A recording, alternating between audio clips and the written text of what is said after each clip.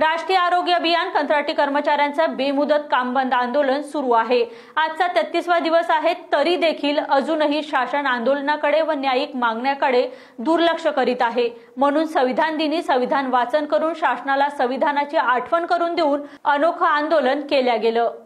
यावेळी विशेष dress code परिधान करून ॲप्रॉन घालून गळ्यात स्टेटस्कोप घालून एकच नारा कायम कराच्या नाऱ्यासोबत जिल्हा शल्यचिकित्सक ऑफिससमोर आंदोलन केलं गेलं.